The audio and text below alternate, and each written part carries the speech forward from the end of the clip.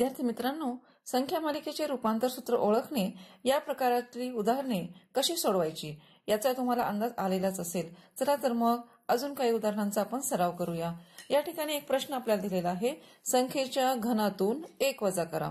आता या ठिकाणी वजा करा हा शब्द आलेला आहे म्हणून आपण काय करूया दिलेल्या संख्यामध्ये एक अधिक करूया. तर या ठिकाणी सात अधिक एक केले तर आपल्याला उत्तर आठ मिळते. आता आठ ही संख्या कोणत्या संख्येची घनसंख्या आहे का? हो आहे.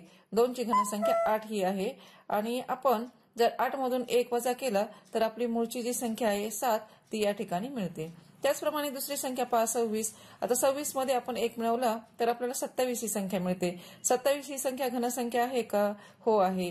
तीनची घनसंख्या सत्तावीस आहे. तर सत्तावीस मधून एक वजा केला तर आपल्याला सव्वीस म्हणजे आपली मूळची संख्या मिळते. त्याचप्रमाणे त्रेसष्ट. त्रेसष्टमध्ये आपण एक ही संख्या मिळवली तर चौसष्ट ही संख्या मिळते. चौसष्ट ही संख्या घनसंख्या आहे का? हो आहे.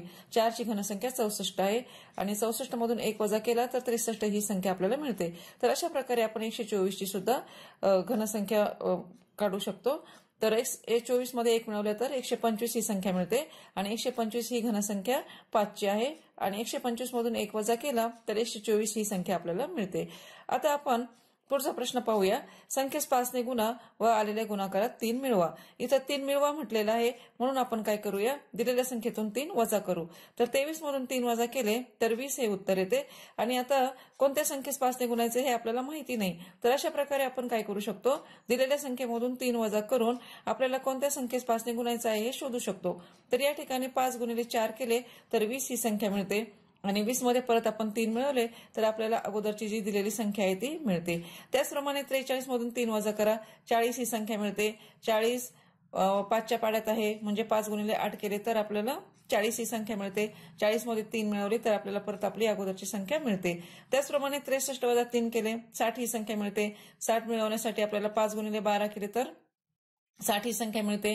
साठमध्ये तीन मिळवले तर त्रेसष्ट ही संख्या मिळते. अशा प्रकारे आपल्याला त्र्याऐंशी मधून जर तीन वजा केले तर ऐंशी उत्तर येते आणि ऐंशीला ऐंशी मिळवण्यासाठी पाच गुणिले सोळा केले तर आपल्याला ऐंशी हे उत्तर मिळते परत ऐंशी मध्ये तीन मिळवले तर आपल्याला त्र्याऐंशी ही संख्या मिळते. म्हणजेच आपल्याला आपली जी मूळची संख्या मालिका आहे ती या ठिकाणी मिळालेली दिसते. अशा प्रकारे या उदाहरणे आपल्याला सोडवता येतात.